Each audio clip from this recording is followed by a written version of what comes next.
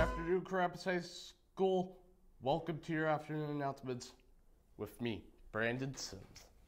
Educators Rising Club will wrap up our fabulous year Thursday after school.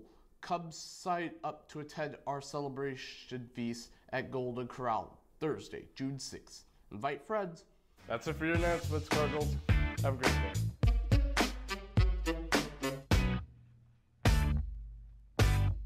Back down here in the Cardinal Kitchen, and today for your dining pleasure, we have the five cheese lasagna. And on the specialty line is going to be the barbecue chicken sandwich.